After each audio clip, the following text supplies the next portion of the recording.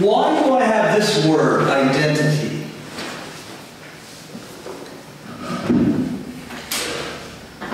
Anyone have any idea?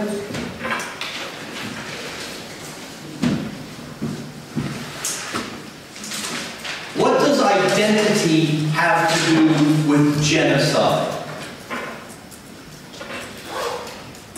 I know you've all been doing your reading every day and thinking about what does identity have to do with genocide? I think that in the genocide there are some people killed because of their identity, and also that genocide could be a way how some people can um, strengthen their own identity. Absolutely correct. Yes, sir. You have. Basically, uh, identity is an in- integral part uh, of, genocide because uh, uh, genocide was always committed by, by members of one identity, uh, be it race, state, or anything else, against members of another identity. So that, that, that's that. Also correct, sir. Or, or uh, um, uh, memory uh, or uh, identity.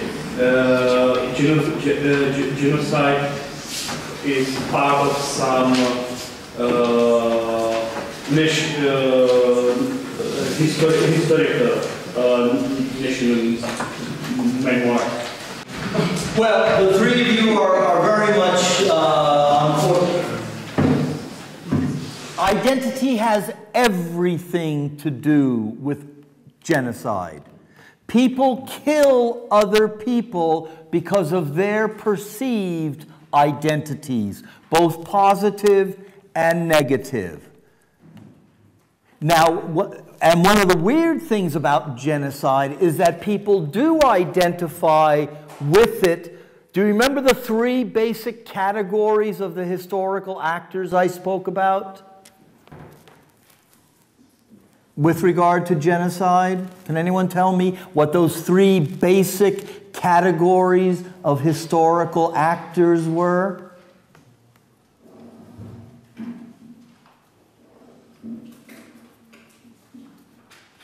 Perpetrators, victims, and bystanders. If you remember from, if you remember anything from what I said, oh, those weeks ago when I was here bef- uh, before, the commission and memory of genocide has everything to do with identity for all three of those categories. And as I've also said, in, in these terms, identity is a matter both individual, which you all understand, and what do I mean by collective identity? What is a collective identity? Sir? Say because, because certain certain people in a group share this one aspect of their identity, and so they're seen as a whole, like a. Correct, such as Like religion. a religion, indeed. And primarily what else? Nation, state, nationalities. Can you imagine being a Rwandan today without thinking about genocide? Can you be a Jew in the world today without thinking about genocide? Can you be an Armenian? This is one of the, uh, um, just one other interesting thing. People form their identities connected in one way or another with mass murder. And that has implications.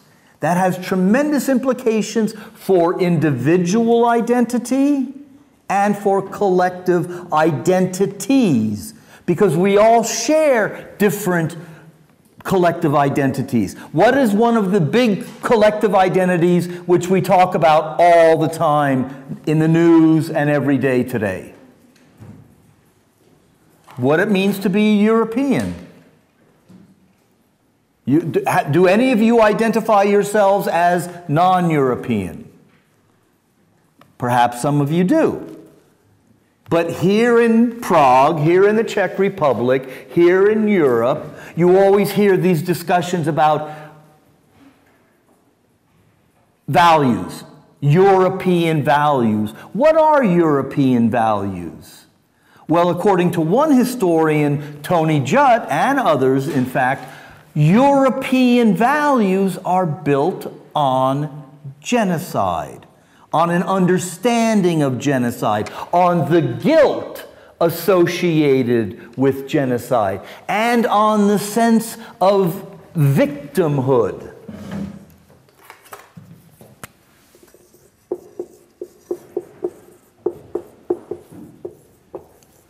What is victimhood?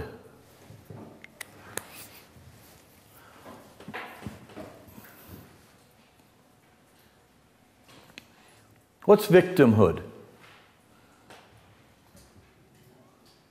My people suffered, so I feel this.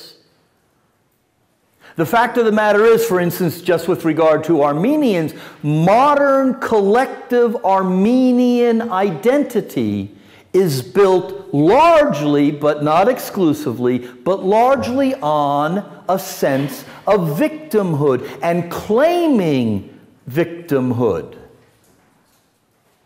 We live in an age when people identify not only with power and the commission of genocide, but people identify with being victims.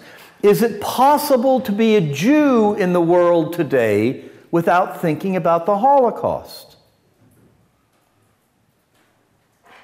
It's hard. It's possible, but it's hard. And we live in an age when people want to acquire a sense of victimhood. Why? Why would any people, individual or collective, want to be identified with victims? Sir? Well, for one, it, it helps shape the, their identity, and the other uh, might be to, to get, uh, I don't know to say special privileges, but uh, it would also be an obvious. What? Okay, special privileges. What do you What do you mean, or anyone else? What do you mean by special privileges to be a victim of genocide? Sir? If I were to form um, um, my, my version, it would mean that uh, when uh, the victim uh, does anything, it's more likely to, to get, either unnoticed or uh, swept under the rug because uh, the, rest of the world feels that they suffered enough so that they are entitled to, to some Ex excuses. Very important word. Entitled. My people suffered, so we are entitled to, for instance, compensation. What sort of compensation? Well, with regard to the world Jewish population, with regard to the state of Israel, monetary compensation from who? From the Germans, from Germany. Israeli, the Israeli economy is largely built from the 1950s on compensation received from Germany, both collective and individual. Compensation, well, my family was deported from Prague, but 70 years later, I want what? My grandparents' apartment back. But if I don't have a status of victim, how can I make, how can I convince society that I individually or we collectively are entitled to compensation. So it's sort of a weird thing, but the fact is, we live in an age when people want to be identified as victims. As opposed to, say, 100 years ago, 150 years ago, when the identification was, well, we're a powerful nation, we wish to show off our, our power. So, I want you to think about this that identity, we are Roma today. How do we break the prejudice against the Roma in Europe today? There are, of course, many ways of answering that question, but one way is to get the majority populations to understand we were victims and therefore we deserve different treatment. We are entitled to different treatment. And it's weird. Why would someone want to be identified with murder? These may seem like obvious questions, but they're often not thought about. And I would like I invite you, I would like you to think about them. So, what I'm trying to do Okay, I'm going to speak a little bit about the exam, which is all about identity, right? You want to be identified with a better grade than a worse grade, correct? For practical reasons and for other reasons as well.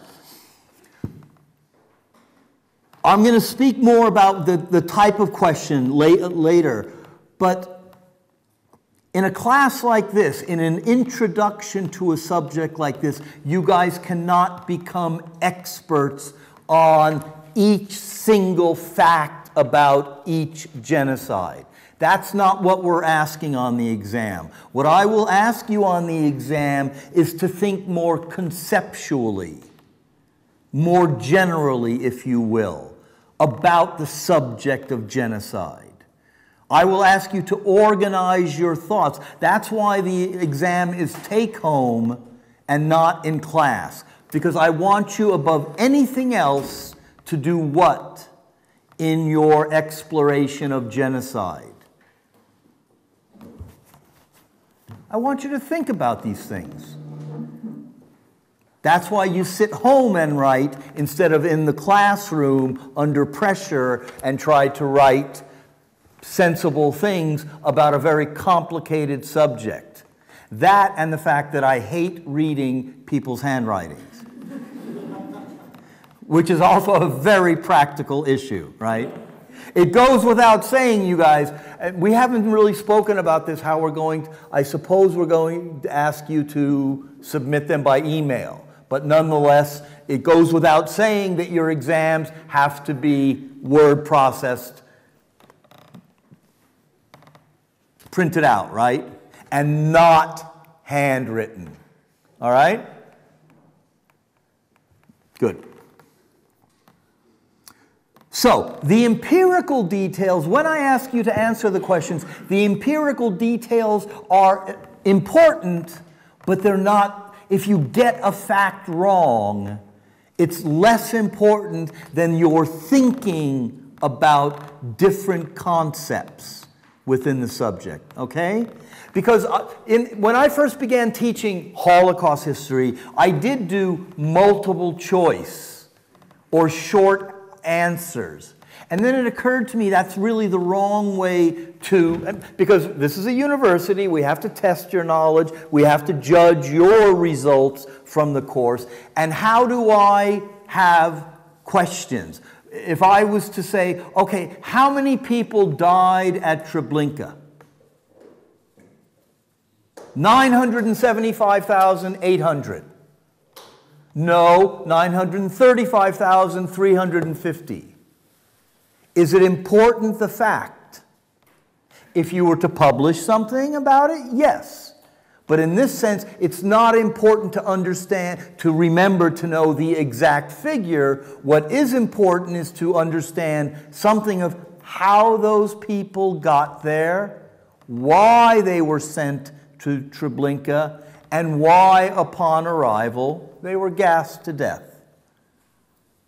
And once again, Each of those questions, you can an- one way of approaching them is to think about identity. Let me, why did the Germans kill a million Jews in a small factory of death 75 kilometers northeast of Warsaw? Why? Well, the obvious answer is they were Jews. But what does that tell us? What is identifying that group as Jews tell us about the Germans? What does it tell us about the victim group, etc., etc.? So the exam is meant for you to think about the subject. And another very important point which I want to make is you will not be graded on your English, and I say it, we say it in the syllabus, you will not be graded on your English grammar. Okay? You all have spell checks, so that's a good thing. But what I want you to do is to think. I don't want you worrying about, oh, is this spelling exactly correct? Is this verb correct? Etc. You have to be coherent obviously, in the exam, but it, this is not a class of English grammar, okay? So I want you concentrating on thinking rather than on the, such technical details. So, let me read something to you. See if you agree or disagree. This was written in the mid 1980s by a very prominent uh, historian. He, he said, researching and teaching genocide, to point out the obvious, is not quite like researching and teaching everything else. It is special in a way that is not commonly discussed for a variety of reasons, among them the fact that this is an emotionally heavy topic. The questions historians put about genocide tend to become broad rather than narrow and require the making of distinctions frequently avoided in other fields of studies. Genocide studies has become exemplary, I hope you all understand the word, has become exemplary in the demands in the demands that it makes upon researchers, teachers, and students alike. Now, I don't know how you've experienced your exploration of the subject of genocide, but this is also part of what I want you to reflect on in your exam. How the study of genocide has affected you as an individual. If it surprised you, if it was interesting, if it was boring. So I'm going to ask you to reflect upon your encounter with genocide studies as well. Okay? In fact, this gentleman wrote that about Holocaust studies, but I believe it's very applicable for genocide studies as well. When you guys have left your class, have you spoken about this course with others, your friends, your family, boyfriends, girlfriends, things like that? Parents, you have. Why? Do you normally go home and talk about your courses? Or somehow has this subject been different? Some of you, wh why have you spoken about this course with others? Why? Someone other than this kind gentleman. One of you young ladies here. What? I feel that this subject isn't discussed enough, so when I brought it to conversation, I can include other people into this uh, problem. Okay. It's not been discussed enough, as you understand it.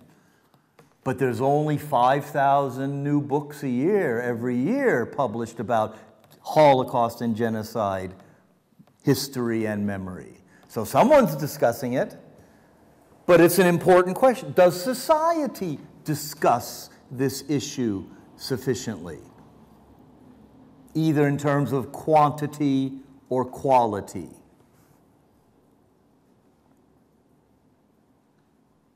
Does genocide studies have implications for society? Do gen- sorry, bad English. Do genocide studies have implications for society? Yes or no? This young lady seems to think that yes, it does. You wanted to share some of your knowledge. And again, this is not always the case that kids study in a university, then go home or go out to a pub and say, Oh, let me tell you about my course. But this course, I'm guessing, you've done that a little bit, correct? With friends or family. Or who knows, strangers. Hey, let me tell you about this course I'm taking. the question always is why? Why has it not been discussed enough in your estimation?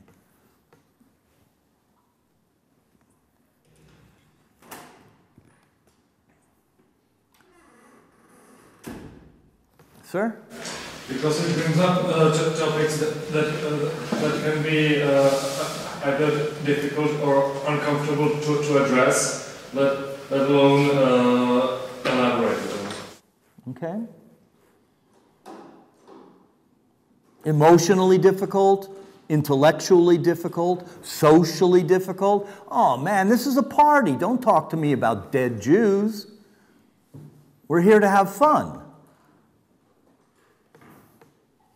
But there's something that compels thinking about the subject.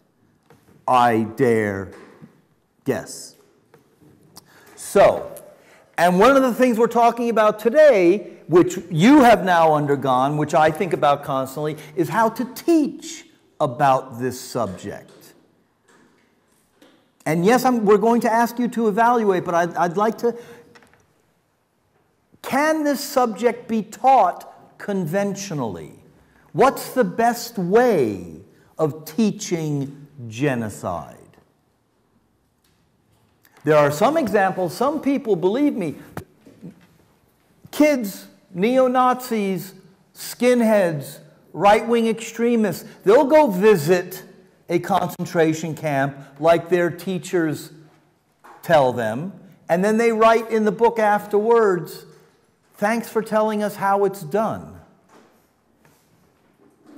Do, you do I teach the Holocaust? Because I certainly don't want any of you learning how to make a better gas chamber after you've taken this course. But there are some people who do think in those terms. So, again, this subject distinguishes itself, genocide studies, because of its content, which is unequivocally mass death. How do you teach mass death? How do you represent mass death? What are some of the ways Holocaust and genocide is represented in the public sphere? like something that only really happened once. I don't know, like from like learning about genocide before in school, we only ever learned about Holocaust. That was it. Right. Okay. Only learning about it once. But th- that doesn't answer my that doesn't address my question of how do you represent mass death in an educational way in a setting. Now there are some people, there are some teachers you can read about this sort of stuff that would ask their students, okay, everybody go stand, all, what are we, 30 or 40 here? Everyone stand in a very small, say, three square meter space. Everyone stand together. And then you will understand how it felt to be in an apartment in a ghetto. Is that a proper representation? Or is that a morally problematic way of teaching, as some people have argued? Do you understand the Holocaust better if I ask everyone, take your shoes off and let's put them in a pile, and you'll see a pile of shoes just like you can see at Auschwitz or at Majdanek? You can see warehouses filled with glasses, with false arms, legs, prosthetics, shoes, etc. I was thinking as well, how many of you, what did I ask here? How many of you are Czechs?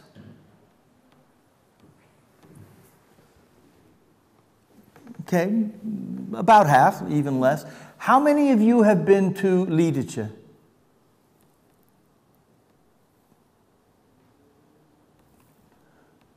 Upon which your nation's identity is largely built. How many of you have visited Terezin, Theresienstadt? Many more. Why? Why did you go? Well, because it's a go-to trip for history to teach the Holocaust. It's a go. It's the go- and I'm not criticizing you at all. It's the go-to trip. Oh, I'm looking forward to eighth grade. We're going to go to Terezin. But honestly, that's what my boyfriend told me about Terezin that day one, and they just drank, and that's what that's what was his memory of Terezin was. Because the history teacher took a group of 14 year old boys and just put them there. It was beautiful sunny day, and like, yeah, you were just drinking, like we didn't care about the Holocaust. So study genocide and get drunk. It's not a bad tactic, I can tell you that sometimes. Because it's a very depressing subject. How do you teach depressing subjects? These are important pedagogic questions which you guys have been experiencing, both as students and learning about the subject. Now, these are perhaps not obvious questions, but they are very much part of our exercise. What's another form of representation? Okay, I've just mentioned public memorials. What are other forms of representation of genocide? Museums. Museums, indeed. Discussions with the survivors. Discussions with survivors, yes. Historic uh, uh, institutions Yes. and uh, uh, uh, mm, conf- uh, conference. Conferences, academic activities, indeed. What else? Documents. Well, they represent, yes, but I'm talking after the fact, not histor- not evidence in that sense. Very important, of course, but not what I was referring to. Other forms of representation, su- such as, let's all play concentration camp guards. See how we react. It's been done. Has anyone ever heard of the Milgram experiments? Anyone ever heard of the Milgram experiments? Where people were given dials to see how much pain their peers could take.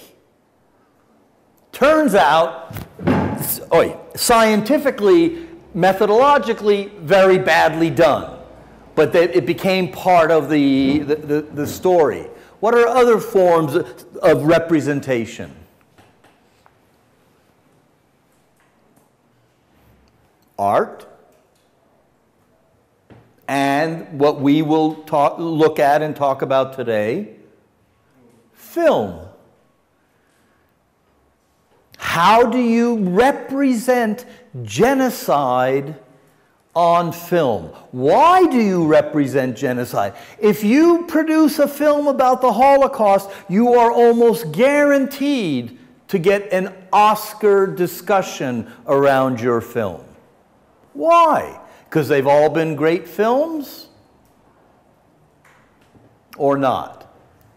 So, repre- And what I do, what we do, is also a form of representation. We represent, Professor Baumgarten represented the Roma and Sinti tragedy during the wars to you. He didn't bring you back to that time. This is true of all history, but again, this subject has special parameters, different from many other histories.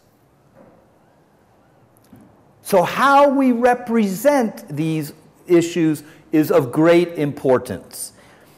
And even I, I, I cannot sh- show you, I can give you a million details about Holocaust history. Does that bring you into the history? No, it represents the history, it represents the subject. And always the question is why? To what end? We often talk about the motivation of perpetrate. Why do people kill other people in large numbers? My question here is why did you guys sign up for this course? What were your motives?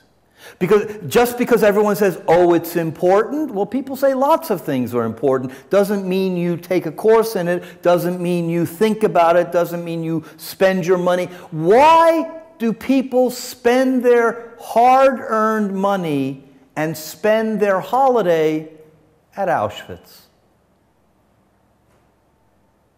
Because it's fun? Oh, Dad, let's go to Birkenau this year. How many kids do you think? No, because people say, excuse me, people say it's important, but always the question, why is it important? And why would a family spend their hard earned money to go to southwest Poland and look at gas chambers? Why? Sir? I would argue that uh, it's for the same reason uh, why, why we study history, uh, and the answer is uh, to, to, to, learn from it and hopefully, uh, and hopefully uh, use that, that knowledge to uh, better our futures, which, uh, which doesn't always work out, but I think uh, the effort uh, at the very least is commendable. Okay. Is there any evidence we learn from history? Not really. Not really. And what is one of the cliches? What is, what is one of the moral statements so closely identified with the Holocaust? Two words never again. And now, you guys who are becoming experts on genocide, how many genocides were conducted in the uh, 20th century alone? five, six more. And in another class I'm teaching now, are there any genocides currently happening in the world today? Islam. Sorry? I, I, someone said something? Islamic State. Islamic State? Okay. Uh, Sudan. Uh, Sudan, Darfur. Is the Islamic State a genocidal political entity? Yes or no? And again, to go back on identity, what did we just have the spectacle, and this man is an, a, uh, an incredible spectacle, of identity in the center of the. Is the US president still important in the world today? Yeah, the US is still an important, powerful nation. So, what, hap- what will be the, the implications if the US elects a racist bigot as president? who says, by identifying people in a certain way, I will make you safer. Do you think that's a winning campaign statement? There's a lot, there's growing evidence that it is. By identifying these people and keeping them out of the U.S., what do they call? Oh, yeah, Muslims. So he's identifying all Muslims as potential genocidaires. Is this right? Is this wrong? Is it morally tenable? And it's in the center of U.S. politics right now genocidal potentials. So these things are all connected. They are all connected. And how we teach about them, how we represent them to the general public is very important because we are supposed to learn something about history so as to never again have a genocide. Is that the purpose of this course? To prevent genocides in the future? Perhaps. That's pretty goddamn ambitious. If just by teaching this course we're going to prevent genocide, highly unlikely. So, the manner in which we represent genocide has great political and social impact. What's one of the, I think it's the last Holocaust film per se to get Best Picture. Anyone know? Pia, Pianist, the Pia. I don't think it got, be- did it get Best, I don't think. Yeah, be, uh, Best Actor. Life is Beautiful, the Italian film, right? One of the only films I've walked out on in the last 25, 30 years. I thought it was a horrible film that said nothing about the Holocaust, but it was rewarded in the best way that that form of art, that form of representation, can be rewarded. Why? Etc., etc. So, that's what we're speaking about today is how you represent mass death. How you represent humiliation how you represent the degradation of the human spirit. This is also art. And there are very many mediums for that art. Now, it's very interesting what, this, what you said that a history teacher in the Czech Republic easily decides to go on a course trip, and then the result are everyone has fun and gets drunk. How much learning do you think took place there? Probably not much. It is possible to represent genocide badly. And it is possible to. Ladies, could you please put your phones away or, or whatever? It's a little bit distracting. And now I'm just. What was I talking about? Better presentation. Yeah, but, but what aspect?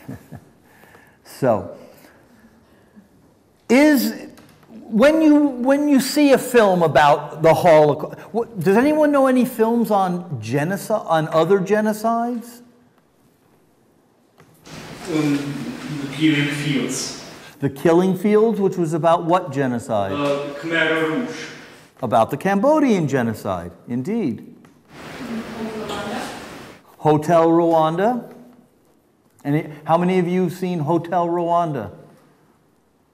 Which is a very powerful film.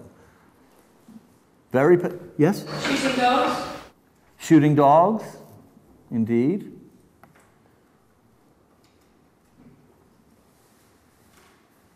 Are there any long films on the Armenian genocide? I don't, not that I can think of.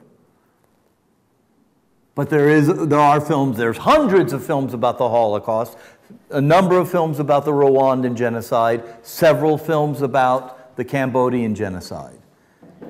Which are, but you guys have to understand, these are artistic decisions taken by talented people who say, I want to represent, to repeat myself, mass death.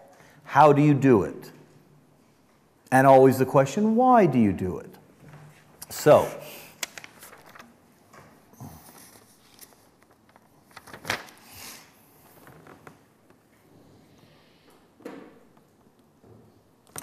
One of the foundations of the way we've represented genocide in this course, and one of the things I will want you to, to think about on the exam is can genocides be compared and contrasted?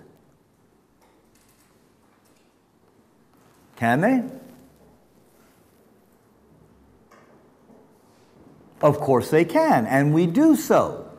That's the foundation of this class is a comparison and contrasting. And what this gentleman says the Islamic State is genocidal. Correct or not? How can you come to that decision?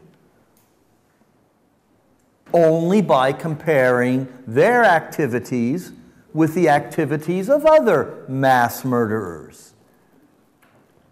Their motivations, their methods their goals. What is the goal of the Islamic State that is threatening us today? To take over Prague?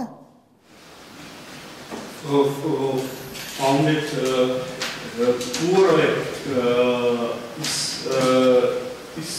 Islamic uh, belief, uh, belief for uh, sal- salvation. Uh, For salvation. They didn't know what is their goal. Like I think the leaders have just economic Econ- economic? yes, I think the leaders of uh, State isn't believers or isn't people who have salvation. Yeah, they're just under power and Okay, this young lady is saying that the Islamic State's motivations are primarily economic. I think uh, I, I disagree because uh, um, motiv- motiv- motiv- motivation of, uh, of, of leaders uh, is, uh, is very strong uh, uh, religious aspect of, of uh, Mu- Mu- uh, uh, uh, stay in, in Mecca. That's uh, conception. Oh, okay. Basically, Salafist. Why did you guys are all you guys are younger? You perhaps don't remember prior to 9 11 itself, the Taliban in Afghanistan committed an act of cultural vandalism. Does anyone remember? Does anyone know what they did? What the Taliban did? They, destroyed the statue of Buddha. They blew up two ancient statues of Buddha. Why? For reasons of identity, of ideology and identity, going back to that question. So, again, and I do emphasize this, when you think about the, the motivations for genocide, think about identity. What were the Armenians, what were the Turks' motivation against the Armenians? And why does Turk, why does modern Turkey so resolutely, official Turkey, deny that it was a genocide?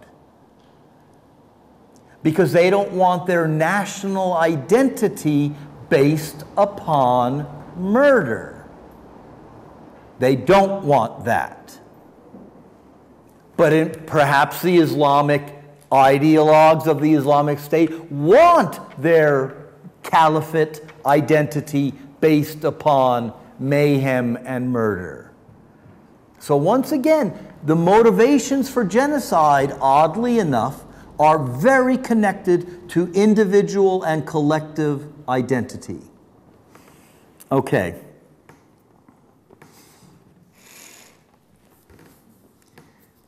Is it most important to define genocide historically,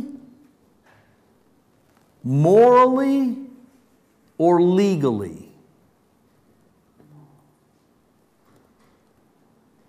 Because if we have discussions in society, one of the problems, and certainly one of the problems of teaching the subject, there's very little time.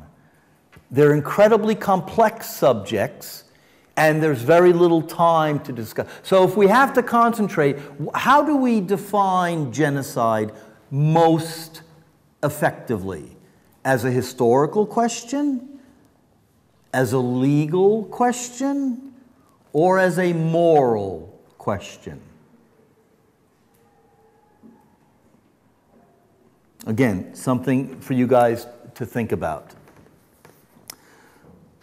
So, what I want to do now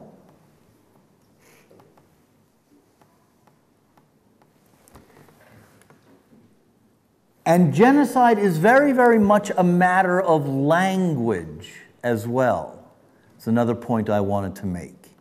The language of genocide and mass murder is very important. What do you do with something illegal?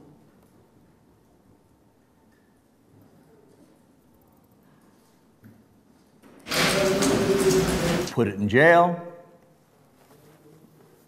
You eliminate it from society in some. So we have illegal immigrants.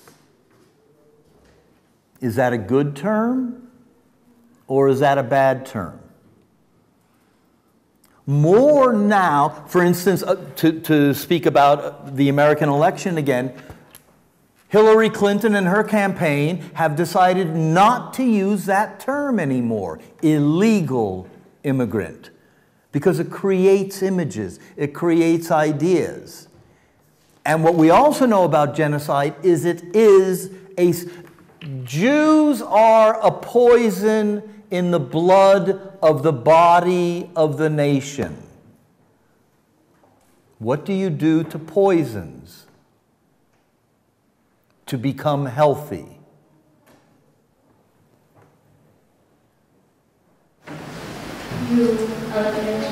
You eliminate the poison. And remember what I said about genocide being eh, the, the search for utopia and the search for social improvement? Well, there are people who think if we only eliminate illegal immigrants, we have a better society. And once again, the U.S. has the spectacle of a leading political figure who's saying, the first thing I'm going to do is deport 11 million people. What does that mean? Can you deport 11 million people harmlessly, easily, effectively, or will people die? Will families be ripped apart? Will economics be affected? Well, presumably yes. But the solution that this guy is pushing is this will make the U.S. a better society. This country has said the Czech Republic will be a better society if we do not admit refugees. Your politicians are saying that.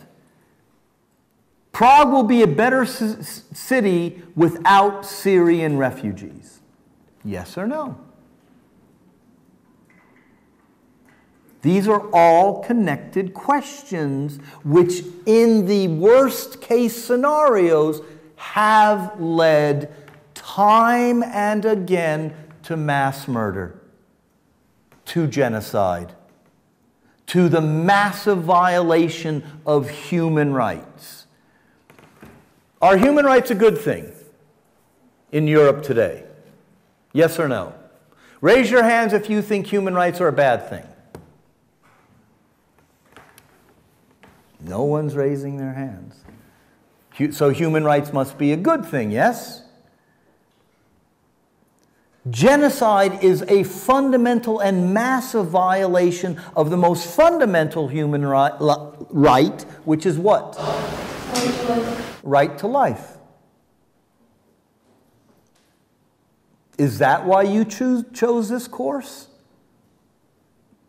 To understand human rights better? Is genocide studies human rights studies? In some ways, it is. Not exclusively, but that's a, a, a cornerstone of genocide studies. How do you represent in art, in education, in politics, how do you represent genocide? This is our question for today, which again is all connected to all the questions we've been speaking about. So, language and genocide is extremely important. And the language used by, if you identify a people as vermins, then there's only one thing you can do make society healthy. There has been, so far as I know, with regard to the Rwandan genocide, one individual convicted of the crime of genocide. I don't know if Martin spoke about this particular individual, but what was he convicted for? What was his position? He was the head of Rwandan state radio. And he defined the Tutsis as cockroaches. What do you do with cockroaches when you see them in your kitchen? Jump up on the table and then jump off the table and try to kill them, right? It's, it's, it's in your interest to eliminate cockroaches. So, understanding and preventing genocide is very intimately connected to the language of genocide. And language is a form of representation. Once again, and I think about this, and I'm saying it because we have a growing problem in a very important election coming up in the US. And that is a man who says this group is a problem. And he's getting increasing support for his position that this group is a problem. He is representing them as what? I've just said it. A problem. And what is a politician's job in a democratic society, theoretically? To solve problems, to get rid of problems. And if I convince enough of you that Muslims, all of them, are such a problem we have to close our borders, I've convinced you of a very important thing. So, the way we write and talk about genocide is a form of representation and a very important part of genocide studies. Language, how we talk about these things. Okay, let's take a break now till a very short break because we stop at five, right? Ain't no time for nothing. It all goes so quickly. Let's resume at 20 after. So just stretch your legs, take a, some fresh air, and then we will resume, okay? And I'll show you segments of a couple of films to talk about how genocide, to show how genocide, in this case the Holocaust, is represented.